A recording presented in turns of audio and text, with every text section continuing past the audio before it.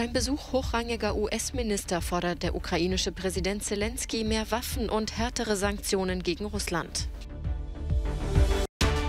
Stichwahl in Frankreich. Emmanuel Macron setzt sich gegen Rechtspopulistin Marine Le Pen durch und bleibt französischer Präsident.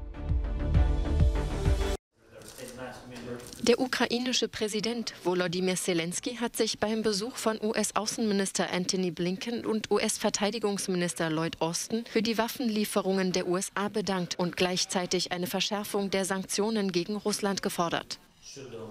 Zuvor hatte Zelensky die Wichtigkeit von Besuchen ausländischer Staats- und Regierungschefs in der Ukraine betont.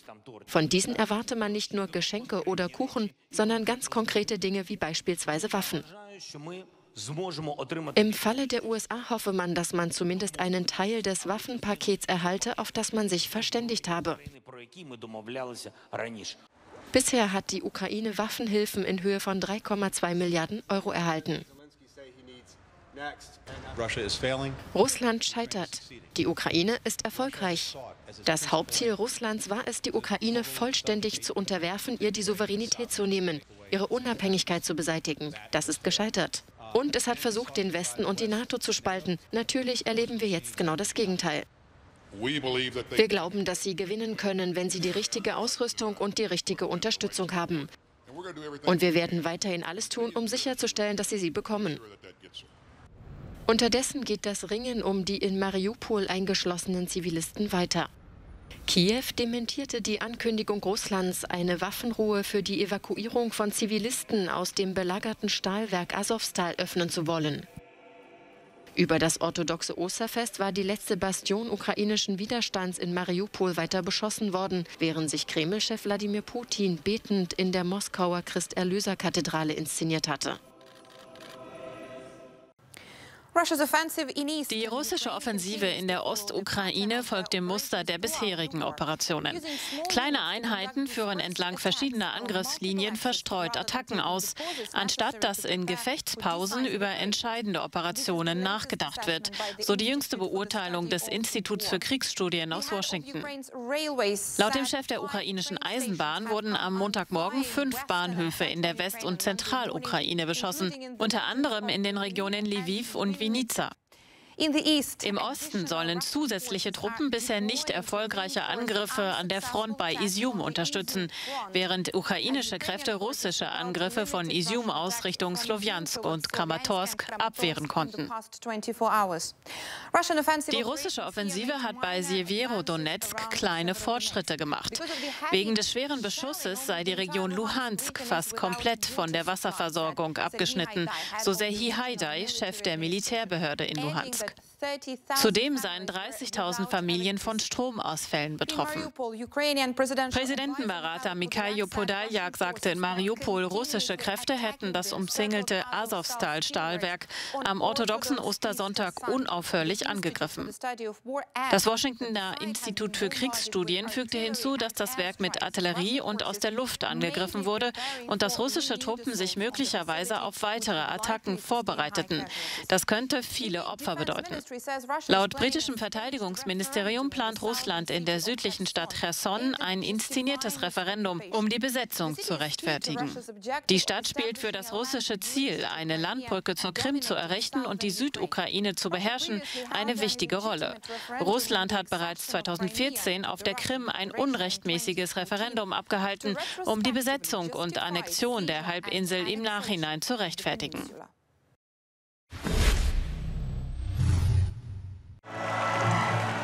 Nicht unbedingt Freude, aber große Erleichterung beherrschte den französischen Wahlabend. Emmanuel Macron bleibt Frankreichs Präsident und hat sich in der Stichwahl mit 58,54 Prozent der Stimmen gegen Rechtspopulistin Marine Le Pen durchgesetzt. Der Liberale dankte, symbolträchtig am Fuß des Eiffelturms, nicht nur seinen Anhängern, sondern der gesamten Nation. Ich denke auch an all diejenigen, die für Madame Le Pen gestimmt haben und heute Abend enttäuscht sind. Bitte buhen Sie niemanden aus. Darum habe ich Sie von Anfang an gebeten.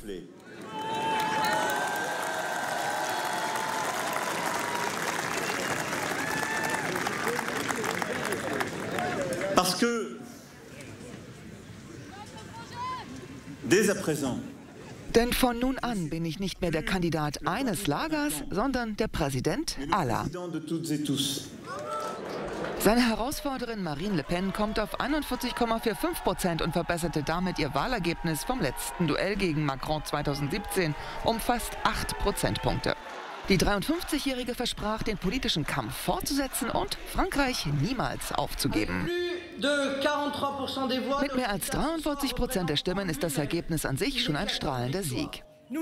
An diesem Abend starten wir die große Schlacht um die Parlamentswahlen. Ich werde diesen Kampf an der Seite von Parteichef Jordan Bardella mit all jenen führen, die den Mut hatten, sich Emmanuel Macron im zweiten Wahlgang zu widersetzen. Kurz gesagt, mit all jenen, denen die Nation am Herzen liegt.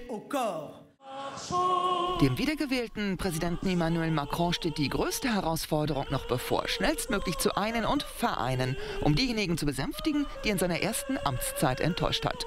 Noch vor den Parlamentswahlen im Juni.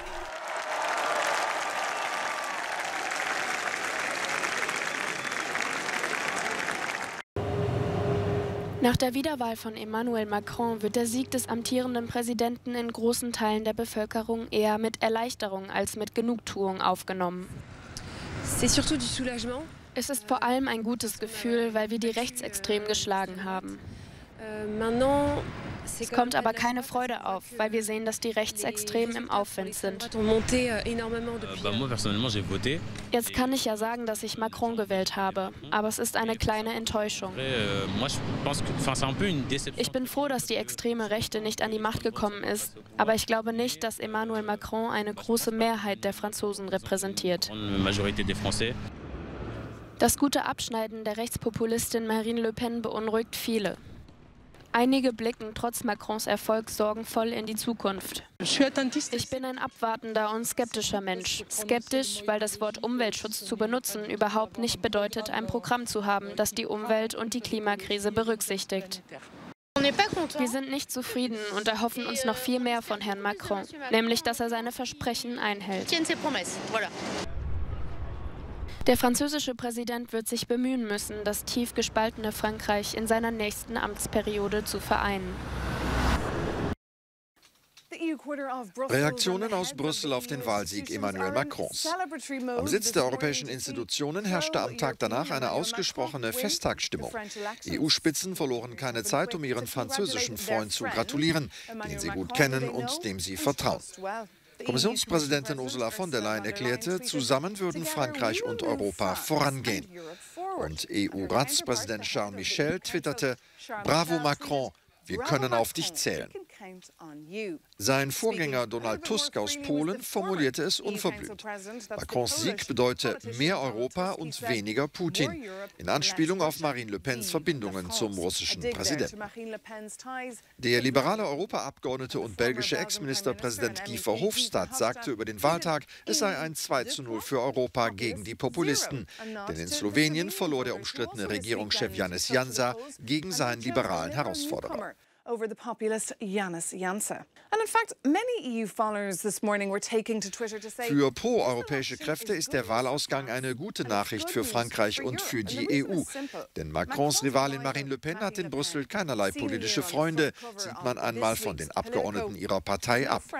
Zwar hat sie versucht, ihr europapolitisches Image aufzupolieren, doch sind ihre harschen EU- und Anti-NATO-Positionen nicht vergessen. Noch immer gilt sie in Brüssel als unkooperativ und unfähig zum Kompromiss. Kompromiss. Ein ähnliches Bild der Erleichterung bieten die Schlagzeilen in großen europäischen Zeitungen. Der belgische Standard spricht von einem Aufatmen in Europa nach Macrons Sieg.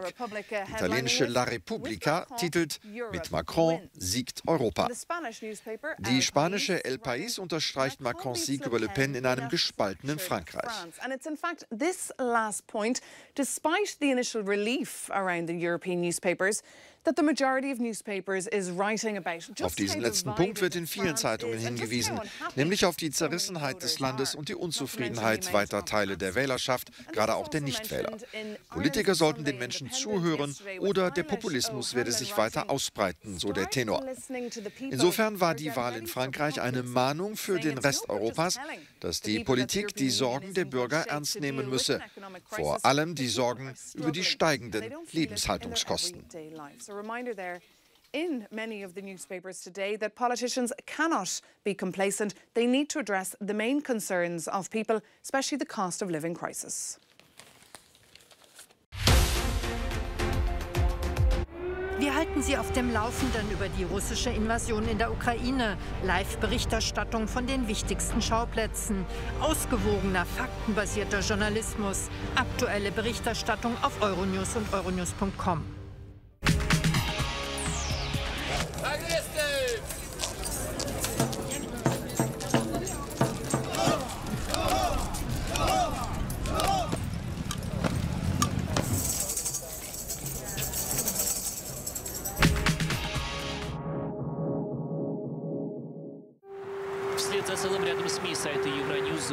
sind Euronews. Wir zeigen alle Ansichten. Wir stehen für Freiheit. Die Freiheit zu wählen.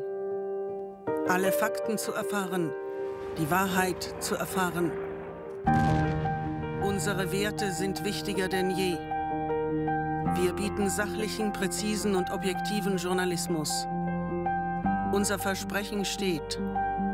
Wir lassen uns nicht zum Schweigen bringen, wo immer Sie uns empfangen.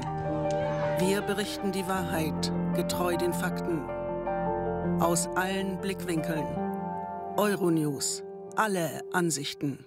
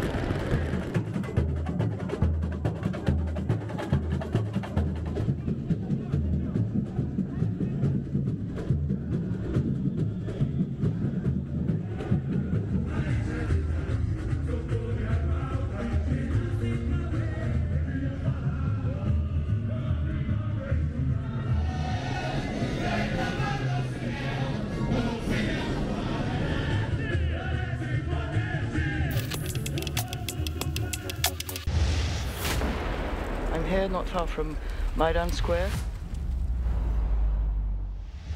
Uh, there have been some uh, explosions not so long ago, and uh, well, the area is under high high protection. Soldiers are here.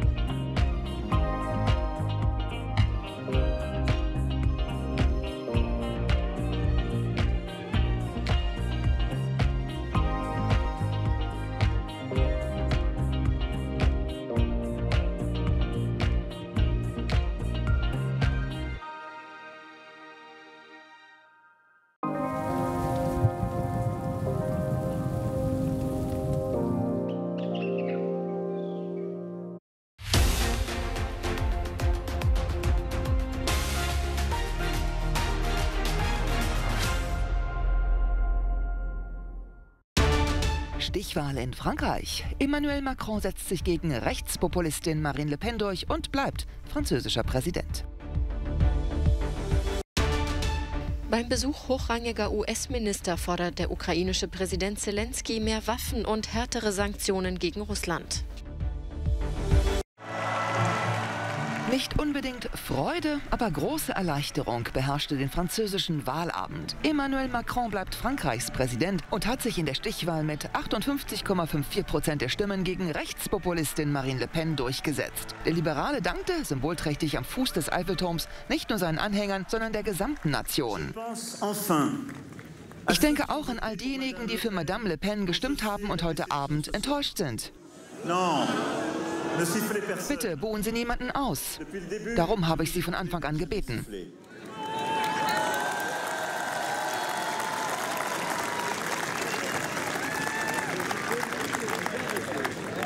Parce que dès à présent, denn von nun an bin ich nicht mehr der Kandidat eines Lagers, sondern der Präsident aller. Seine Herausforderin Marine Le Pen kommt auf 41,45 Prozent und verbesserte damit ihr Wahlergebnis vom letzten Duell gegen Macron 2017 um fast 8 Prozentpunkte. Die 53-Jährige versprach, den politischen Kampf fortzusetzen und Frankreich niemals aufzugeben. Mit mehr als 43 Prozent der Stimmen ist das Ergebnis an sich schon ein strahlender Sieg.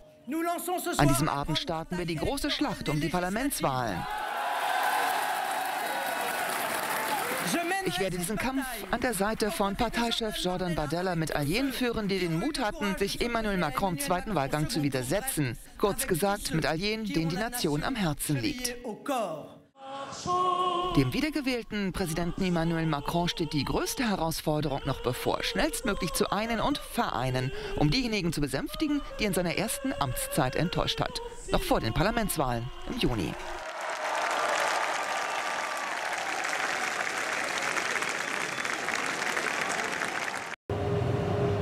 Nach der Wiederwahl von Emmanuel Macron wird der Sieg des amtierenden Präsidenten in großen Teilen der Bevölkerung eher mit Erleichterung als mit Genugtuung aufgenommen. Es ist vor allem ein gutes Gefühl, weil wir die Rechtsextremen geschlagen haben. Euh, es kommt aber keine Freude auf, weil wir sehen, dass die Rechtsextremen im Aufwind sind. Euh, Jetzt kann ich ja sagen, dass ich Macron gewählt habe, aber es ist eine kleine Enttäuschung. Euh, ich bin froh, dass die extreme Rechte nicht an die Macht gekommen ist, aber ich glaube nicht, dass Emmanuel Macron eine große Mehrheit der Franzosen repräsentiert. Das gute Abschneiden der Rechtspopulistin Marine Le Pen beunruhigt viele. Einige blicken trotz Macrons Erfolg sorgenvoll in die Zukunft. Ich bin ein abwartender und skeptischer Mensch. Skeptisch, weil das Wort Umweltschutz zu benutzen überhaupt nicht bedeutet, ein Programm zu haben, das die Umwelt und die Klimakrise berücksichtigt. Wir sind nicht zufrieden und erhoffen uns noch viel mehr von Herrn Macron, nämlich dass er seine Versprechen einhält. Der französische Präsident wird sich bemühen müssen, das tief gespaltene Frankreich in seiner nächsten Amtsperiode zu vereinen.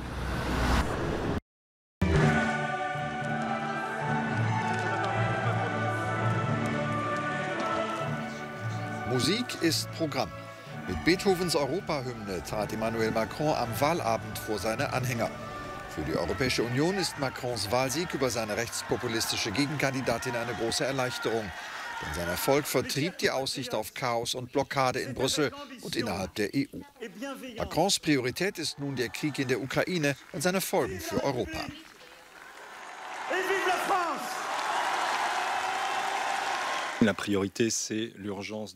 Das sei das dringendste Thema, meint Eric Maurice euh, von der Robert-Schumann-Stiftung. Fragen über die europäische Verteidigungsfähigkeit, über den Umgang mit russischer Energie, über weitere Sanktionen. Und dann gäbe es natürlich Themen, die nicht vergessen euh, werden dürften, wie die Klimapolitik. Euh, notamment la question du mécanisme carbone aux frontières pour la transition climatique. Doch der Erfolg Emmanuel Macrons darf nicht über das Misstrauen gegenüber seiner Europapolitik hinwegtäuschen, das sich in den Stimmen für Marine Le Pen manifestierte. Die Spaltungen in der französischen Politik sind größer geworden. Die einstige Debatte zwischen links und rechts ist verschwunden, sagt Geneviève Pons vom Pariser Jacques Delors-Institut. Stattdessen gäbe es eine Debatte zwischen Nutznießern und Opfern der Globalisierung. Neben Frankreich verloren Europas Populisten am Sonntag ein weiteres Land. Der slowenische Ministerpräsident Janez Janša musste sich einem liberalen Newcomer geschlagen geben.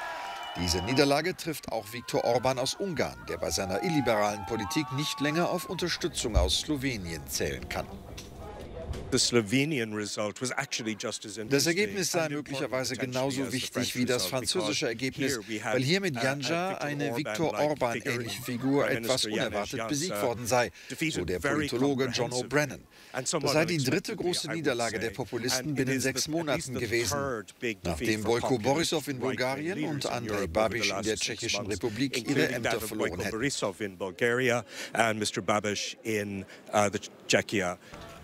Die Freude in Brüssel ist groß. Doch muss die EU neue Antworten auf dringende Sorgen der Wähler finden, will sie populistische Kräfte langfristig zurückdrängen.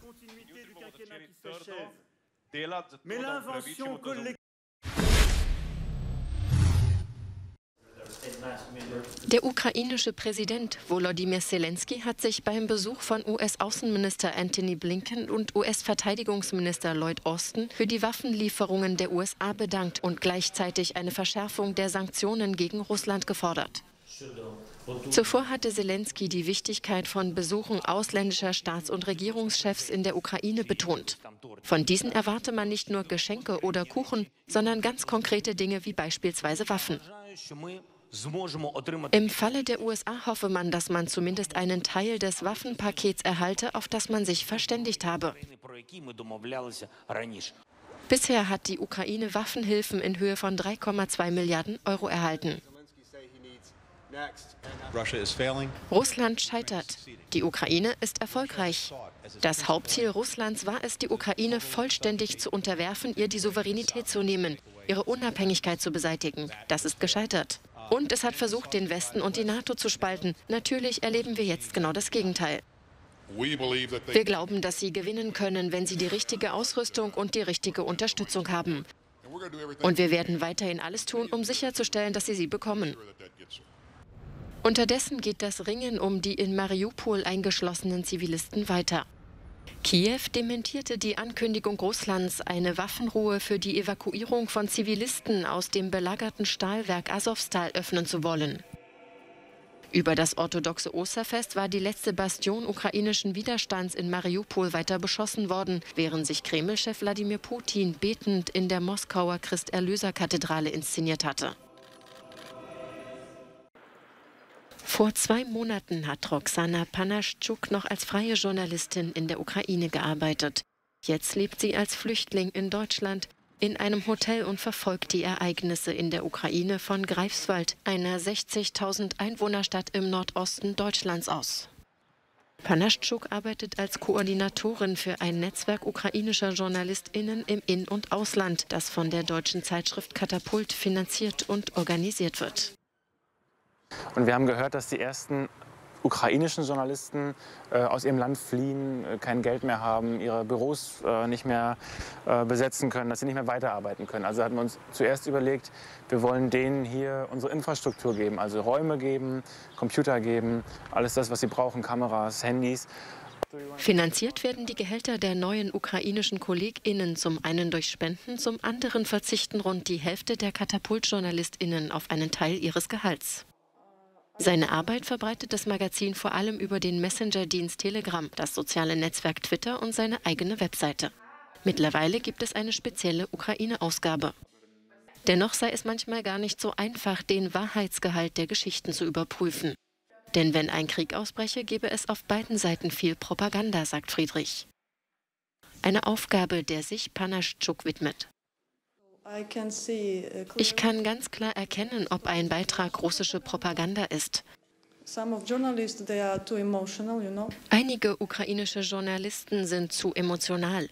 Uh, uh, uh, Manchmal merkt man das an ihren Texten, wenn sie beispielsweise schreiben, dass alle Russen unsere Feinde sind.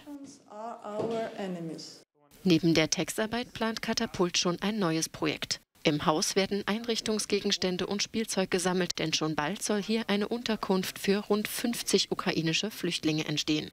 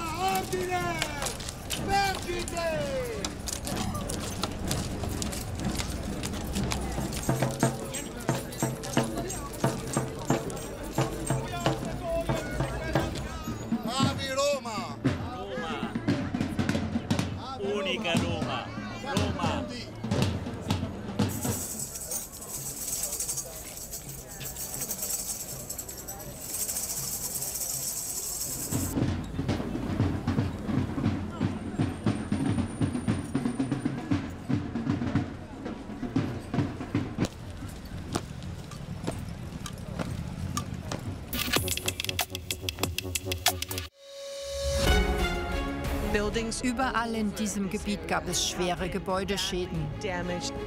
Wenn wir diesen Krieg verlieren, werden wir alle getötet. Das ist die am schnellsten wachsende Flüchtlingskrise in Europa seit dem Zweiten Weltkrieg.